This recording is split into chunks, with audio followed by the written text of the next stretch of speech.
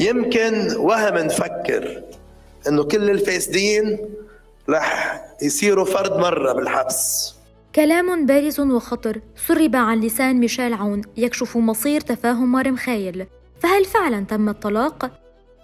كشف موقع لبنان ديبيت كلاما لزوار رئيس الجمهورية السابق ميشيل عون أن اتفاق مار مخايل قد انتهى ومات. والأهم أن عون وبحسب زواره يعتبر أن ميزان التقديمات يميل لصالحه كما سرب الزوار قول عون أنه هو الذي ضحى أكثر بكثير من حزب الله. ليستمر هذا الاتفاق طوال تلك السنوات.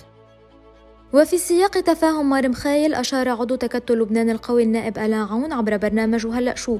إلى أن تفاهم مارم خايل القديم انتهى وأي استمرار لهذا التفاهم يمكن أن يكون بصيغة جديدة. وفي حال لم نصل إلى تطوير لهذا التفاهم لا يفترض أن تحدث القطيعة. وعلينا أن ننتظر في حال كنا سويا جزءا من التسوية أو أن هناك طرفا سيكون في المعارضة والآخر في السلطة. فيرجن 2 ما بقى في تفاهم بالصيغة السابقة. م. أي تفاهم ممكن يستمر بالمرحلة اللي جاية هو بحاجة لإعادة آه، صياغة كاملة إذا بدك لطبيعة العلاقة وكيفية إدارتها.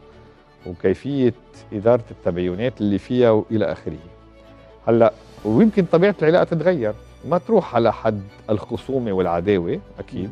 ولكن بذات الوقت ممكن ما تكون هالعلاقة التحالفية الملتصقة ببعضها ومتلاحمة بكل المواقف يلي كنا نشهدها قبل.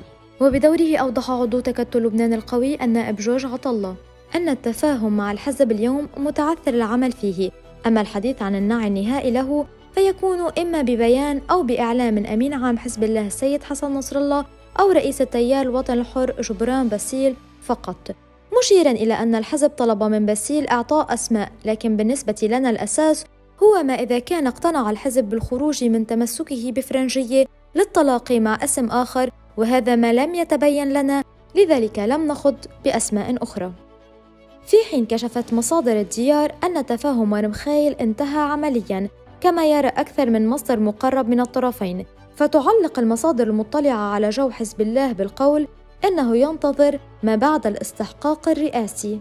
وفي وقت سابق لفى المحلل السياسي قاسم قصير عبر برنامج هنا بيروت إلى أن حزب الله حتى هذه اللحظة حريص كي لا يحصل الطلاق النهائي مع التيار الوطن الحر معتبرا أن اتفاق مارم خايل أنقذ لبنان في عدة لحظات من حرب جديدة داخلية.